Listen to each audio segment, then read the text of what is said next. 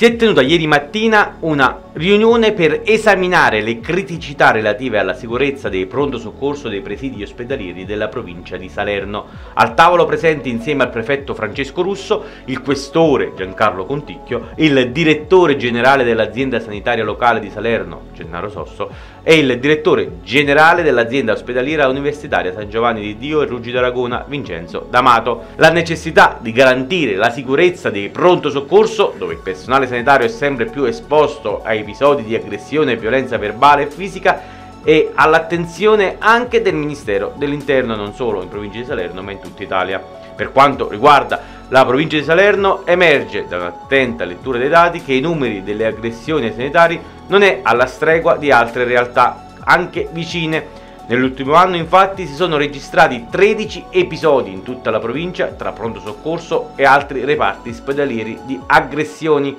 al fine comunque di intensificare una politica di sicurezza volta innanzitutto alla prevenzione rispetto a casi di violenza e alla tutela di medici e personale sanitario, il questore ha comunicato che verrà implementato il personale di sicurezza addetto ai presidi ospedalieri del comune capoluogo e di Nocera Inferiore, mentre nelle realtà di Battipaglia, Cava di Terreni e Sarno verrà disposta una intensificazione delle misure di vigilanza H24 tramite gli equipaggi in servizio ordinario di controllo del territorio. Altra importante misura di prevenzione sarà la realizzazione di un contatto telefonico diretto e immediato tra il pronto soccorso della provincia e le sale operative facenti capo alle forze dell'ordine, questura e 112.